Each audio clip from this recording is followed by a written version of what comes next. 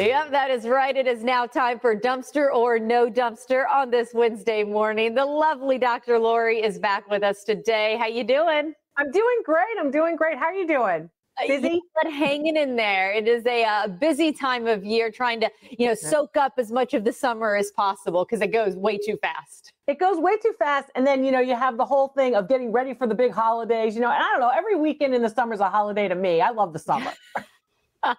I could not agree more. By the way, I, as always, I love your setup. I'm loving the, the picture behind you. Mm-hmm. I can't really make out what you've got on the table. And does it kind of incorporate with what you were thinking the, about here today? The table is all about outdoor summer games, croquet and badminton and such, right? You know the stuff that you that you only get to play really the games you only get to play in summer with all your friends and family. So cookout games we used to call them good stuff. Well you know what? I mean you shared with us before games on dumpster or no dumpster where we yeah. guess the $50 mark. Is it above? Is it below? Hence the name. Are there games today or where are we beginning with the first one? Well we've always got a game right? But let's start with some fashion what we might call casual jewelry a beaded necklace and it has some elements that look sort of floral. I like the colors. Those are complementary colors, the orange against the blue, which stimulate the optic nerve. Glass, multi-strand, multi-color. It's made by the Hobe brand, H-O-B-E, and they're known for these types of um, beads and, of course, this kind of casual summer, perfect for summer jewelry. Oh, man, I'm kind of stumped on this one. I don't know if we've ever talked about glass beads before, have we? Yeah, a little bit. I don't know if we have a little bit. They're best known, of course, the Murano glass beads from Venice, Italy. Uh, this, of course, is a, a really nice example. Uh, double multi-strand, so double strand, and it, it's about 24 inches. So it's you know it's kind of like good for that. Yeah, I you know like the dress you're wearing. It'd be good for that kind of casual, mm. but still a little dressed up. Oh, you know what, Dr. Lori, if it comes to jewelry, I, I, tend to hold on to things that I probably will never wear, just hoping. so I'm going to go with my own crazy reasoning and say a no dumpster for this necklace. No dumpster, a hundred bucks. Hey, yeah, nice yeah. one. Nice. People find. like glass. They like glass. They like glass jewelry. I have a glass pendant on. Actually, they like glass as a jewelry or an adornment accessory. Okay, well, good to know. I'm ready to go if you show us any more glass. Glad that's a no dumpster. What about this second one here? How about this piece? This is a, um, of course, an equestrian or a horse print. Um, it's a color engraving from the early 1900s. Uh, Don Carlos is the name of the actual horse, a beautiful example. And of course, horse country, you know, near Tampa, a lot of folks, Ocala, that neck of the woods, a lot of people, of course, great equestrian and equine interest in that neck of the woods.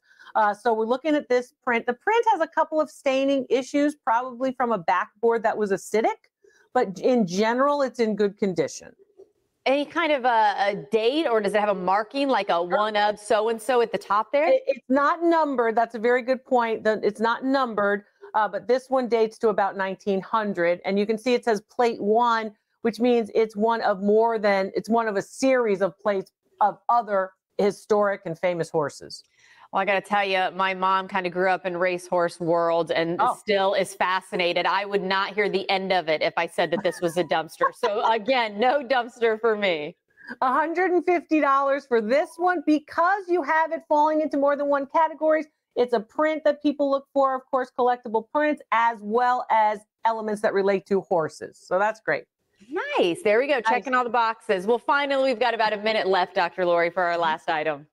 Mastering the Art of French Cooking, of course, the famous publication by Julia Child. Um, some of these show up at thrift stores, our antique malls, estate sales. So look out for books. Uh, this one's from 1966, and it is an early edition of, of course, the um, the famous cookbook. I think the key here, since you said that they do kind of pop up, would be the condition. How does the condition fare? Exactly. So you've got a little bit of problem on the dust jacket, but in general, the condition is very good. Oh, you know what, Dr. Lori, were you thinking all three no dumpsters today? Because that's where my third vote's going to fall as well. No dumpster as well. $500 for that oh, That's right. Really? Yeah, and they tend to give you a little bit more lee- leeway with cookbooks in terms of condition because you expect it to have been in the kitchen and sort of near the eggs and this kind of thing with the flour. It can be a little bit.